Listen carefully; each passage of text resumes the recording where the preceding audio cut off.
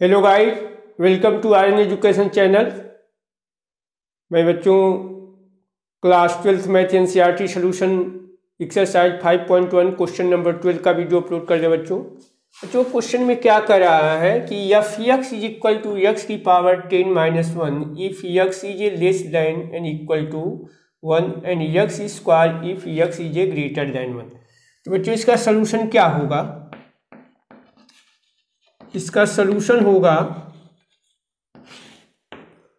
पहले बच्चों हम लिखेंगे कि let K be any K be any real number real number according to the question according to question, according to question,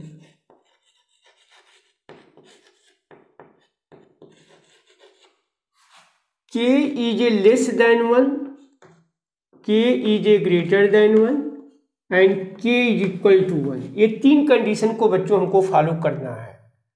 तो first condition हम लेंगे फ़र्स्ट केस बच्चों हम लेंगे, क्या लेंगे? K is a less than one तो बच्चों, हमको क्या लिखना होगा कि if F X is equal to F X की वैल्यू क्या है बच्चों हमारी? यक्स की पावर टेन यदि X is a less than one K is a less than one यदि यक्स के प्लेस पे रखे हैं बच्चों तो ये होगा यक्स की पावर टेन माइनस वन हो जाएगा। और यदि यहीं पे यक्स के प्लेस पे बच्चों यदि हम के रख दें तो क्या होगा? के की पावर टेन माइनस वन हो जाएगा। इसी तरह से बच्चों, यदि हम इसी को हम लिख सकते हैं कि N limit X tends to K F X is equal to, F X is equal to क्या हो जाएगा? Limit X tends to X tends to K और यफ यक्स की जगह पे बच्चों क्या होगा? यक्स की power ten minus one is equal to K की पावर टेन माइनस वन हो जाएगा। तो इस तरह से बच्चों, हमारा ये हम देख रहे हैं कि ये दोनों कंडीशन हमारा फॉलो फॉलो कर रहा है। एक तो यफ के फ़र्स्ट कंडीशन ये, पहला इक्वेशन ये हो गया। इक्वेशन नंबर टू मान लेते हैं, यदि इसको ले रहे हैं दोनों से तो हम देने, देख रहे थे दोनों हमारी वैल्यू इक्वल आ रही है। यफ के की वैल्यू और यफ एक्स की वैल्यू तो हम लिख सकते हैं कि function F is a function F is a continuous function F is a continuous conti continuous fraction या is a continuous is less than one less than one less than one less than one के लिए क्या होगा?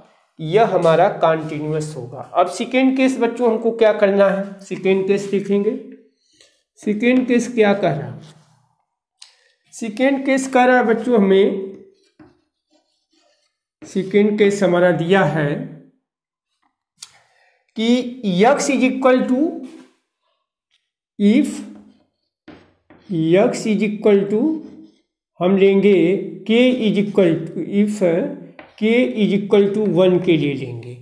तो यहाँ पे बच्चों हम जब दिखाएँगे F X is equal to तो यदि हम वन के लिए लेंगे बच्चों तो हमारा ये जो होगी वैल्यू यक्स की power ten power minus one हो जाएगा बच्चों। और यदि यक्स के प्लेस पे यदि हम के रखेंगे तो क्या हो जाएगा? के की पावर टेन माइनस वन होगा। और यदि हम यहीं पे बच्चों, यदि के के प्लेस पे यदि हम वन रख दें तो क्या होगा?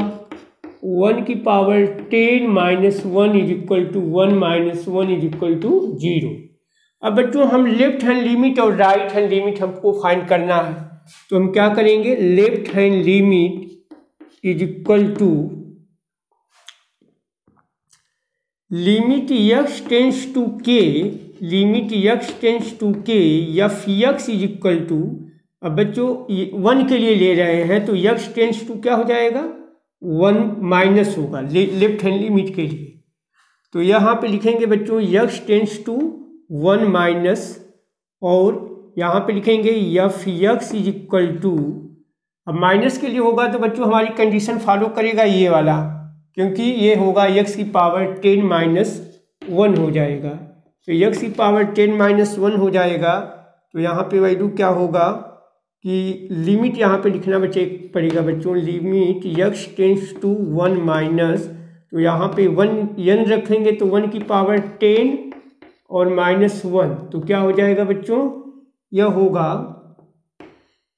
यक्स की पावर टेन माइनस वन तो ये one minus one is equal to क्या हो जाएगा बच्चों? ज़ीरो हो जाएगा। अब बच्चों, हम राइट हैंड लिमिट हम फाइंड करेंगे। तो राइट हैंड लिमिट क्या होगा? तो राइट हैंड लिमिट क्या होगा? कि limit X tends to one plus लेंगे बच्चों। तो वन प्लस जब लेंगे तो इसके लिए हमारी कंडीशन कौन सा फॉलो करेगी? यक्स स्क्वायर वाला करेगा। तो यहाँ पे क्या लिखेंगे? F X is equal to यहाँ पे लिखेंगे F X is equal to limit X tends to one plus तो यहाँ पे बच्चों यफ यक्स के जगह पे क्या लिखेंगे? यक्स स्क्वायर लिखेंगे। तो यक्स स्क्वायर के जगह पे हम क्या लिखेंगे? वन। वन का स्क्वायर क्या हो जाएगा? वन। तो ये बच्चों हमारा क्या हो रहा है कि left hand limit is equal to not equal to right hand limit तो बच्चों हम इस तरह से हम कह सकते हैं कि fraction F is fraction fraction fraction F is a discontinuous discon conti discontinuous किसके लिए होगा बच्चों? X is equal to one के लिए। तो ये हम कहेंगे कि हमारा fraction F is a discontinuous होगा X is equal to one के लिए। अब थर्ड केस बच्चों हमारा क्या है? थर्ड केस हम देखेंगे। थर्ड केस में हमें बच्चों क्या करना है? थर्ड केस में। थर्ड केस अब यहाँ पे बच्चों हम देख लेंगे। यहाँ पे इसको मिटा दे रहे हैं। थर्ड केस तो थर्ड केस में हमें बच्चों क्या करना होगा?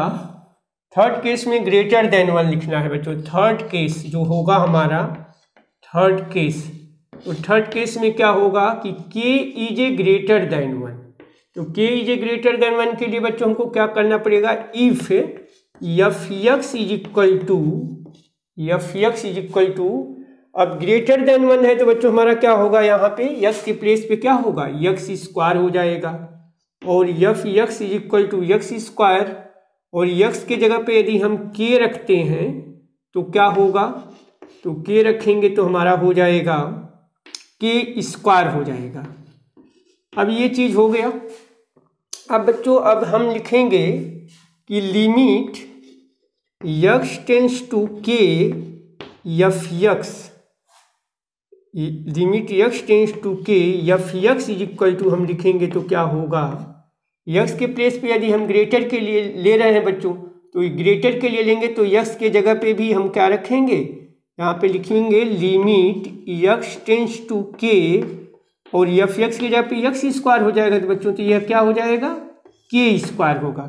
तो हम देख रहे हैं बच्चों की हमारा जो है, हम लिख सकते हैं एंड देन इफ़ यहाँ पे लिखेंगे बच्चों, और इसके ऊपर इस तरह से हम देखेंगे कि दोनों कंडीशन से, हम लिख सकते हैं कि limit F X X tends to K F X is equal to क्या हो जाएगा?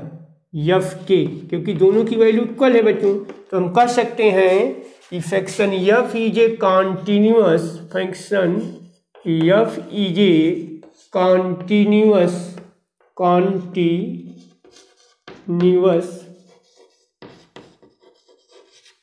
function F is a continuous is greater than is greater than function F is a continuous greater